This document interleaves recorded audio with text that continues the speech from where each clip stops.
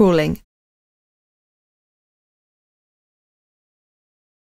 A baby needs to be happy on their tummy and pushing themselves up on their hands and knees before they can start to crawl. Babies need a surface with grip to learn to crawl, such as a carpet or a large rug, so they can push themselves without slipping. From sitting, support the baby at the pelvis and help them to move onto their hands and knees to crawl.